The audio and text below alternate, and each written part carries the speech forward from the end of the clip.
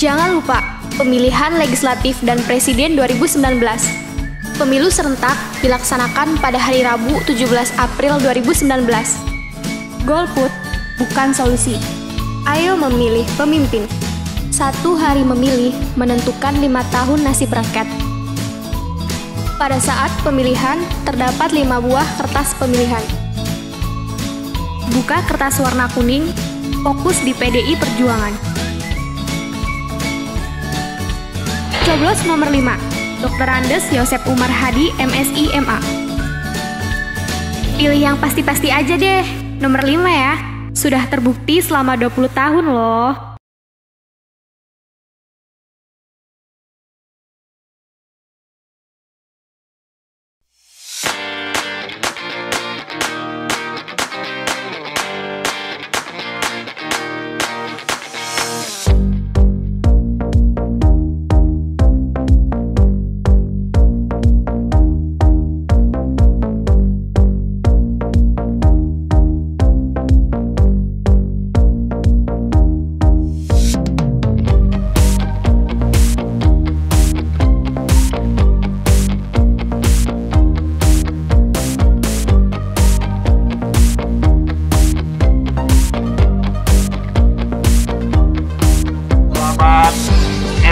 Salam sejahtera untuk kita sekalian. Yang saya hormati dan saya cintai serta saya banggakan segenap pencinta burung petito yang pada hari ini ikut menyemarakkan dan memeriahkan lomba burung berkicau dalam rangka kampanye perdana atas nama yang pertama tentu dalam rangka pemilihan presiden atas nama Bapak Jokowi dan Bapak Kiai Haji Makruf Amin.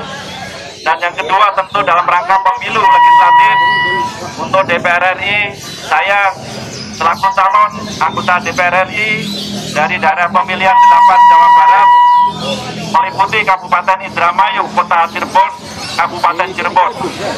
Dengan nomor urut 5 nama saya Yosef Umar Haji dari PD Perjuangan saya menyampaikan terima kasih dan penghargaan yang setinggi-tingginya kepada Bapak Gober Jaya Ningrat selaku koordinator dan sekaligus ketua panitia dan tim sukses dalam rangka mensukseskan pemilu presiden dan pemilu legislatif terutama untuk pemilu presiden yaitu nomor urut 01 Bapak Insinyur Joko Widodo dan Bapak Kiai Di Makrum Amin selaku wakil presiden dan juga tentu sebagai tim sukses untuk pemilu DPR RI yakni atas nama Dr. Anders Yosef Umar Hadi saya pribadi dengan nomor urut 5 dari Partai PD Perjuangan. Kami menyampaikan dengan penuh rasa bangga kepada segenap masyarakat terutama bapak-bapak dan saudara-saudara sekalian yang kini berduyun-duyun untuk mengikuti lomba burung berkicau sekaligus untuk bisa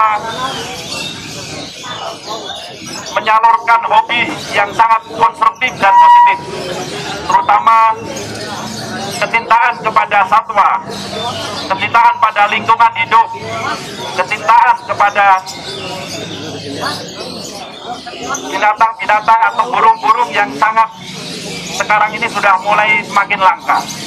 Oleh karena itu saya sungguh merasa berbahagia dan merasa bergembira memberikan apresiasi kepada saudara-saudara sekalian yang merupakan perintis, merupakan pencipta dan konservasi dan melestarikan betapa kaya rayanya bangsa Indonesia ini memiliki satwa burung-burung yang indah.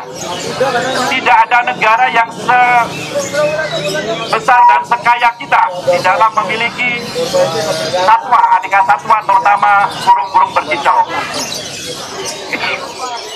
oleh karena itu dengan senang hati, dengan sepenuh hati, saya mendukung sepenuhnya.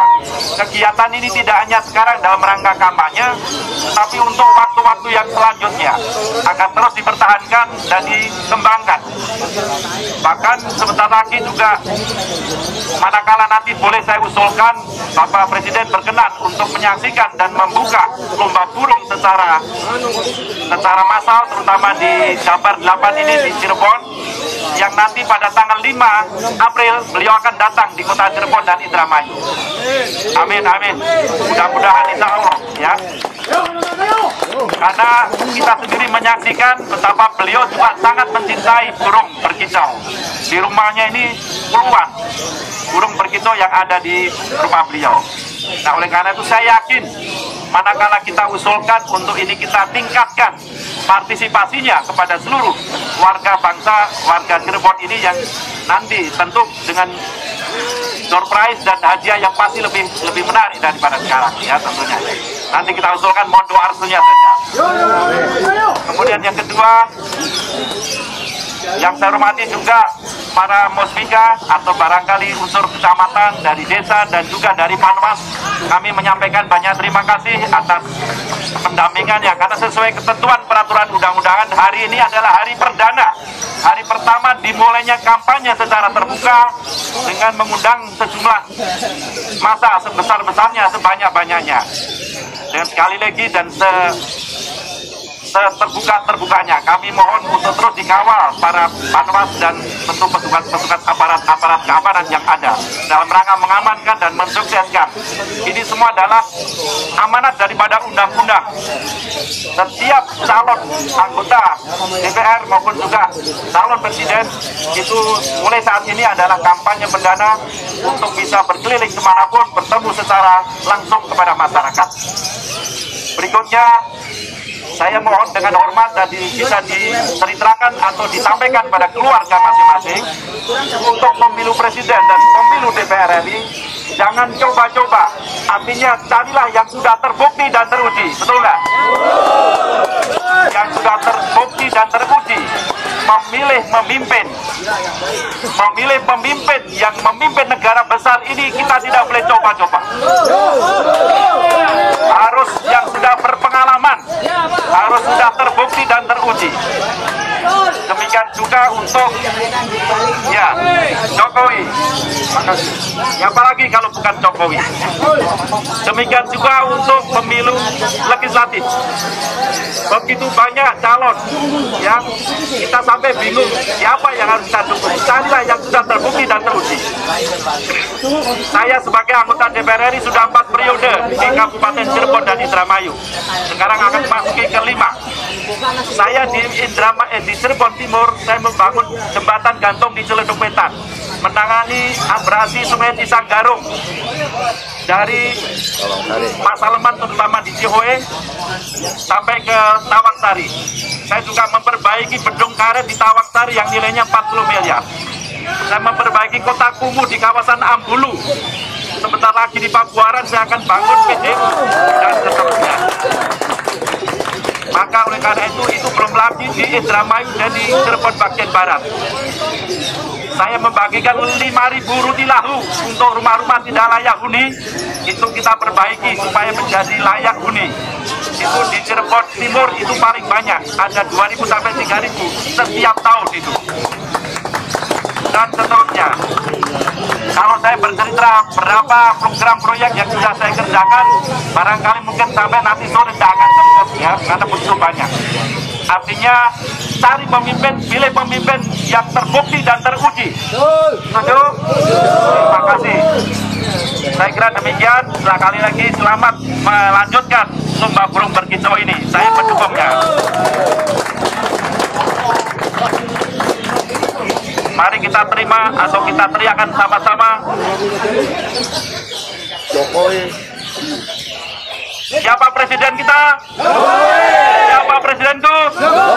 Siapa presidenku? Siapa anggota DPR RI ku?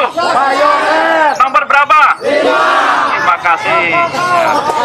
Demikian, siapa dan Selamat lanjut. Saya berjanji untuk meneruskan dan mendukung kegiatan lomba burung ini sampai nanti lima tahun ke depan. Terima kasih. Demikian, wassalamualaikum warahmatullahi wabarakatuh.